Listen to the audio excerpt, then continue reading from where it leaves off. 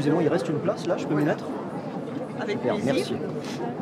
Il paraît que c'est la dernière de consonance. Vous aussi, vous avez le, le badge Ah évidemment. Il paraît que c'est la dernière de consonance, c'est vrai 2 euros, il faut l'acheter. hein. D'accord. Un festival de musique de chambre à la rue. Eh bien, en tout cas, cette 25e édition de Consonance pourrait être la dernière en raison de dissonance avec la ville. Tout ce week-end, des artistes du monde entier vous proposent de venir souffler le gâteau d'anniversaire d'un festival en pleine tempête. On voit quoi ce soir là? La truite de La Schubert. Ah, Avec qui Pierre Désert Oui. Classe.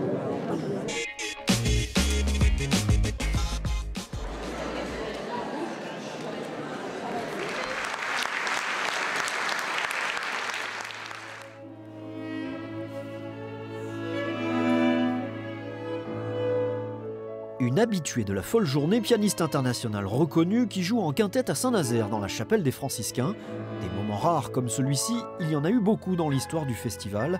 25 ans de partage que beaucoup regrettent déjà.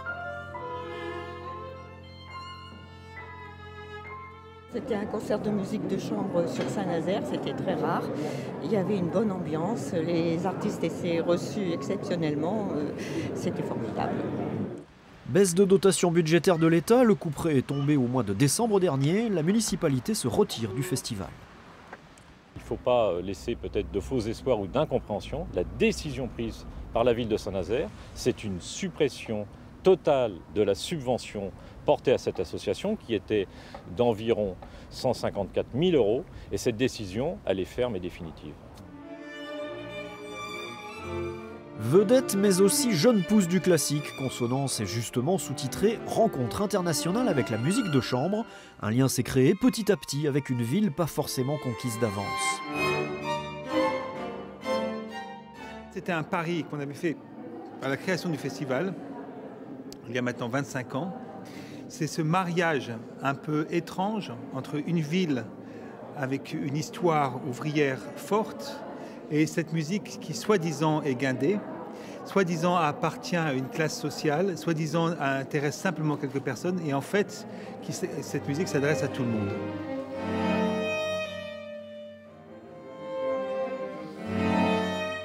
Philippe, qui a un peu un pied euh, partout dans le monde, euh, a su amener euh, à Saint-Nazaire des, artistes qu'on n'entendait nulle part. Moi, personnellement, il m'a fait découvrir, il m'a fait jouer avec des artistes avec lesquels je n'aurais certainement pas joué.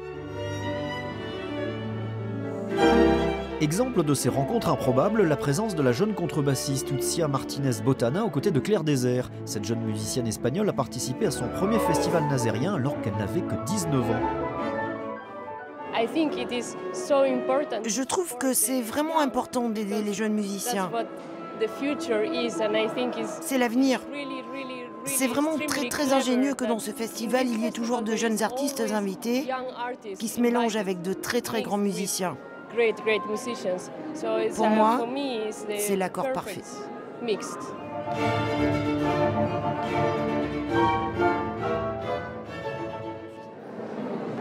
La chapelle des franciscains, c'est le pilier de la musique de chambre ce week-end à Consonance. Le nouveau pavillon à Bougnay, c'est le berceau des musiques traditionnelles, avec là aussi un festival qui connaît de graves difficultés. Europhonique, créé par le nouveau pavillon, organise ce week-end une soirée de soutien pour sa survie.